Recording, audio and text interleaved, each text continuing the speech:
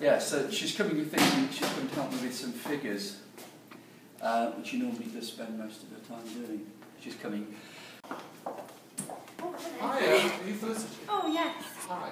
I'm Hello. Pete Miller, I'm Chief Executive of the Trust, and I've come to surprise you. Oh, yes, I am quite surprised. Come on in, settle yourself. Thank you. And, um, so I'm Pete I'm Chief Executive of the Trust, and every now and again I pop into people's places uh, because we have a system in the Trust, we have a thing called the Valued Star Award, Yeah. where people get nominated every month, and we get 30, 40, 50 nominations every month.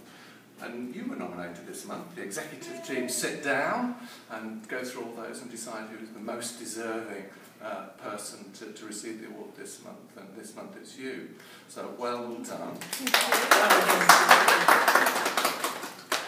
present you with something in a second. I just want to read a few of the things. Sometimes one person nominates somebody, sometimes two people nominate. You were nominated by three separate individuals this month. And I'll just read one or two of the things.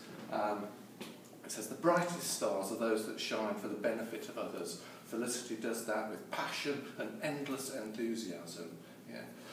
You've been supporting and developing the Fair Days work model for across, uh, uh, across therapies.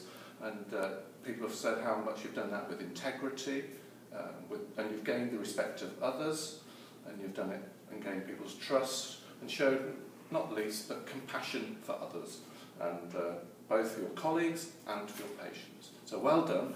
Well deserving. I know you've come in off a day's leave, so That's right, I thought I was Thank having to do a freedom of information request, so Look, you're not. that's quite good. So can I present you with this month's December's valued staff at LPT, and you get one of only now six Aw, stars to put. So well Thank done. you very you much. very Sorry for deceiving you, and That's why uh, I didn't want me coming in my pyjamas. I told you, yes it is. Yeah. Okay. Thank you, Dr. Thank you very much, thank you.